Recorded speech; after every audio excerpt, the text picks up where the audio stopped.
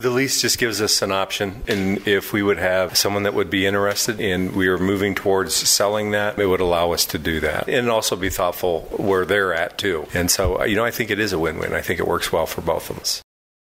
The board met at a workshop last year and identified one of the primary needs was to get more feedback from the public, from the county residents and taxpayers who really are the owners of Yavapai College. And the board serves on their behalf. The board felt very strongly that they needed to reach out to the community, to the residents and taxpayers of Yavapai County and get their input on the board's goals. Very valuable to hear from people throughout the county about how they feel the district governing board is doing in managing their tax dollars. Quality education, cultural enrichment, and economic development, supporting economic development throughout the county. So the board wanted to hear if people agree with those as goals, how are we doing with those goals, that sort of thing.